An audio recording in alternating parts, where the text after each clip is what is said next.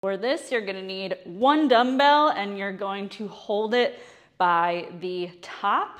And then we're going to send our hips back to load up our glutes and our hamstrings and then bend the knees to come the rest of the way down.